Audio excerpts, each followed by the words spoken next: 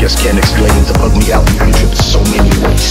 I want the truth, nothing but the truth, and tie for one more going back to my roots. Ooh.